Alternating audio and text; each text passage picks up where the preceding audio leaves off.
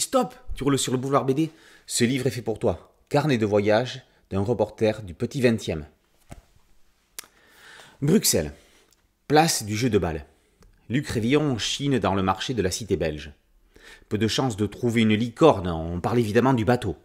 Par contre, l'auteur déniche un banal petit carnet à la couverture bleu marine. À l'intérieur, des notes manuscrites et quelques photos. Il s'agissait de toute évidence d'un carnet de voyage, mais le vendeur en ignorait la provenance. Il faisait partie d'un lot qu'il avait acquis dans une vente publique.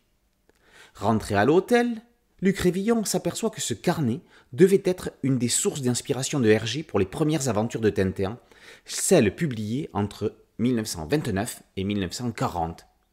Révillon décide de lui redonner son sens en le replaçant dans son époque et en le complétant de notes et photographies.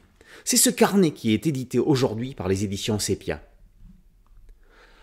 Tout en entretenant le mystère concernant ce journaliste qui aurait inspiré Hergé pour les aventures de Tintin, Luc Révillon invite à s'attarder sur les versions en noir et blanc des récits du reporter à la houppe. En effet, de nombreuses références historiques disparaissent dans les versions en couleur. L'auteur donne un exemple, Mary Pickford, star du cinéma muet, dont le nom n'apparaît plus dans Tintin en Amérique en couleur. On parle évidemment ici de la version redessinée, non pas de la colorisation commerciale et inutile de celle d'origine.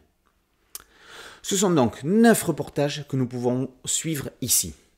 Reportage au pays des soviets pour débuter. Le journaliste prend le train sur le quai de la gare du Nord de Bruxelles. Il découvrira Moscou en pleine reconstruction, une place rouge pimpante. Il s'engagera dans l'armée russe. Au Congo ensuite, il visitera entre autres une mission en pleine brousse et se prendra pour un instituteur. Aux États-Unis, ce sera New York, Chicago, puis le Far West. Impossible de tout citer. Le tour du monde se poursuivra en Orient, en Extrême-Orient, en Amérique latine, en Écosse, puis en Europe de l'Est, en 38-39 en Sildavie et en Bordurie. Interrompu par la guerre, le carnet s'arrête en 1940 avec le reportage en Palestine qui servira de base à la première version inachevée de Au pays de l'or noir.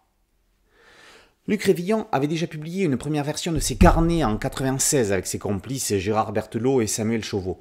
Il intègre avec justice la collection Zoom sur RG. Quand on a fini de lire Tintin, on peut recommencer à lire Tintin, on y trouvera toujours quelque chose de nouveau. Boulevard BD, c'est un podcast audio et une chaîne YouTube.